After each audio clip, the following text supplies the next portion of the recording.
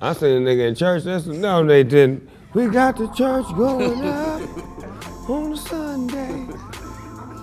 Lord have mercy. I said, oh no, man. They they in there acting a damn fool now, man.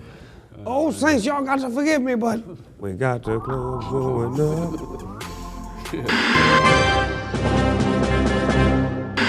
Yeah, that's a cool thing. I mean, how that make you feel though to, to see something that you created become like fashionable? Oh man, it feels good. It's uh it's just crazy that people are noticing and paying attention and it's just like I guess it connects with them now, you know what I'm saying? And like I hear everything going up. Like uh it's like when I'm in the elevator now, the little lady's like going up and then if other people in there they always say, on a Tuesday. It just continues to It's be just what like it is. it, yeah. it never ends. Like they my nickname is Tuesday now when they see me. They That's your new name. They don't even call you by your name. Nah, it's just Tuesday. Hey, ladies and gentlemen, uh, give it up for, for Tuesday. Exactly. Yeah, for Tuesday. so how you get your start in hip hop? Um, really, I was growing up in LA.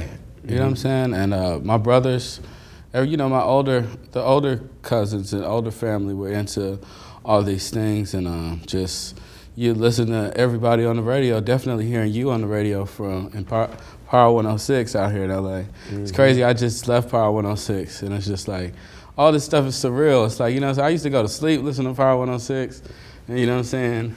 And now you hear your music on there. Yeah. And now you hear your music on commercials, and you hear them clowning with your music, having fun with your Yeah. music. It's like, It's good though. It's like they happy and celebrating it. So you know what I'm saying. I just I always wanted to bring positivity and happiness to people. So so how big is that record right now? um, it's pretty big. It went gold. Got nominated for a Grammy. So I mean, coming from where I'm from. Drake got from, on it. Yeah, Drake got on it. Like it's huge. He's singing like you do. It. He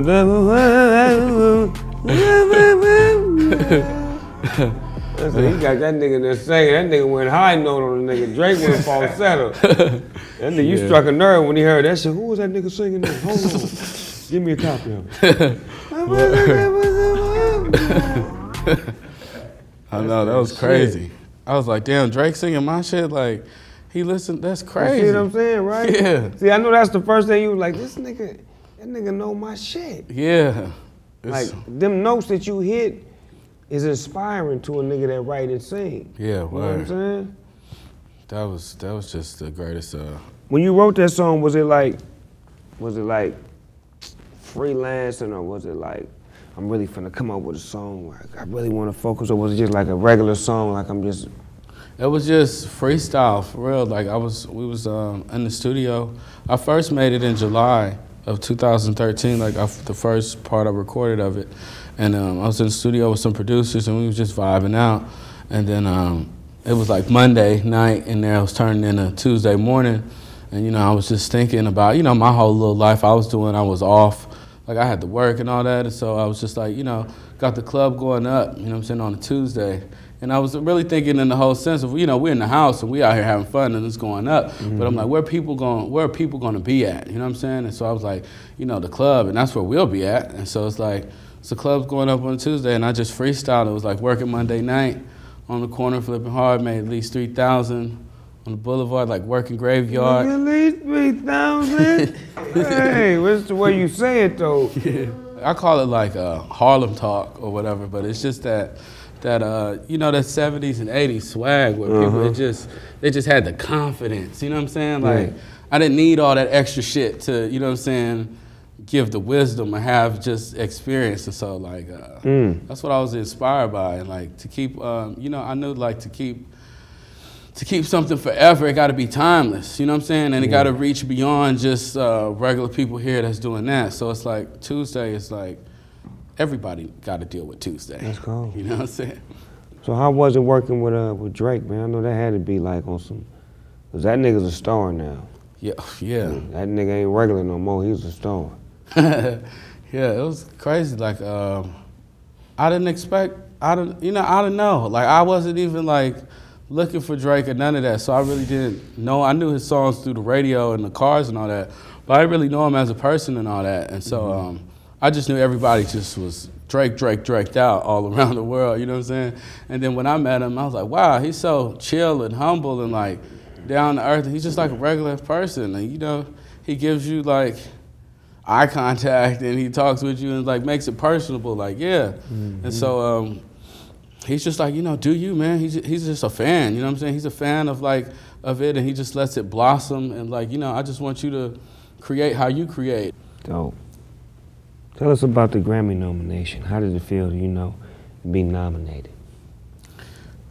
That feels great, man. That's like a, uh, it's just a huge accomplishment. Like, um, I used to, I'm, I'm, like on 21st, West 21st Street in LA, like over there in Adams and all that. Mm-hmm. Um, so like, we used to watch the Grammys and like all the award shows and be right down the street at the Shrine or at the Staples Centers and mm-hmm. all that. So it's like, I never thought I would be up for a Grammy. You know what I'm saying? Like I never made music with that intention or anything. I just wanted to, you know what I'm saying, connect with people and um, just give them something that they could feel. And then uh, I guess that's what the Grammys was feeling. And I was like, wow, that's crazy. Like I don't. It's like certain people I know they they make things to try to get on these people's radar, but I wasn't really making it for those people's radar. I was just making it for the people. And then you know they just they noticed. I guess the people noticed and uh, yeah, good just, people music. Yeah, you should see how the, uh, the white people dance to that song. Yeah.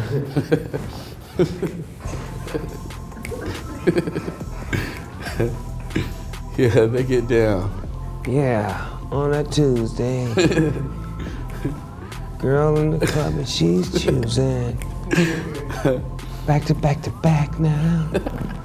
yeah, I've seen them out there. It's wild. They love it. It's good though. That's it's a great feeling though to it make is. people, no matter what color they are, make them dance and feel good.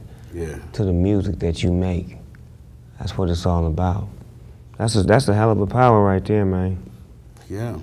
It gotta feel good to know that people is really waiting to hear your shit, right? Yeah, that's the best feeling ever you know, you come I come from in my room playing my stuff for myself, and it's like nobody wants to hear this, you know. Or you just well, that's what the you, the, the regular seven people you run into in your neighborhood would tell you. Mm-hmm. You know what I'm saying? And then it's like now they are just like begging you to make something new, and it's like wow, that's that's a great feeling. It makes you inspired to go back in there and want to create something. Good morning. This is Stormy Fronts doing the weather for Hot Atlanta. It's going to be hot. So, so hot. You could bake my buns in the mirror.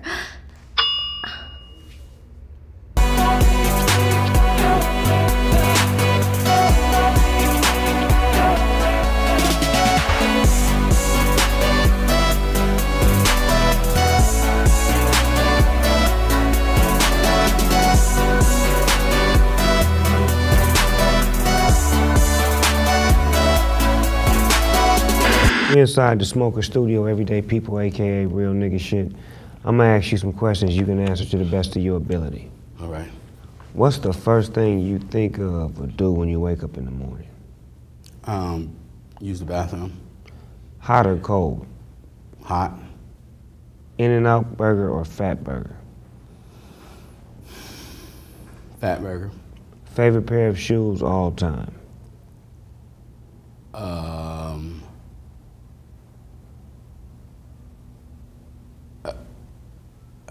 I don't think I've seen them yet. Mm-hmm. yeah. I, Your favorite pair of shoes ain't came out yet? Yeah, I mean, I, yeah, it's too many. I mean, I, I don't know. I like. Nigga, like, so, I like shoes. Nigga, I don't like one pair. Yeah, it's hard to pick a pair. Taraji P. Henson or Kerry Washington? Taraji P. Henson. She's damn near 100 for 100 on my motherfucking show. We're going to have to find another bitch that can stand up to her. I'm saying, we're to have to find somebody that she can that, that can stand up to her. Yeah. Maybe That's... a porno star, somebody nasty and slutty. I'm sure they'll. okay, I'll take the slut.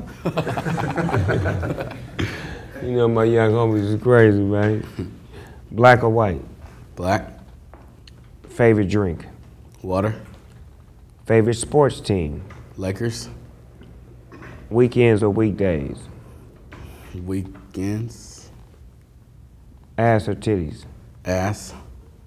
Chevrolet or Cadillac? Cadillac. How many times a day do you think about sex? Uh, at least over 50. His nigga's a sex fiend. and that's that's what it's supposed to be. if you could have a superpower, what would it be? Uh, to teleport To teleport what? myself, like just disappear here and be in New York right now. Okay, because the homie said that earlier. He said, but to teleport on a hoe. Like when he said whenever a bitch get to talking too much shit, he just disappears on the bitch in mid conversation. Yeah, that, that's a part of it. You can Yeah. use it during that. Okay, okay. That's crazy, right? That's two on the wrist though. That that must be a new trick coming out soon, like the i7 gonna have teleport. Whenever you wanna disappear on a bitch, hit this teleport button. I'm gone. Yeah, you punk bitch, I just teleported. I disappeared. If you were stuck on an island for a whole year and could only listen to three albums, what would they be? Um, James Brown, greatest hits of all time, disc one and two. Tupac, All Eyez on Me. Oh, the best of the Delfonics.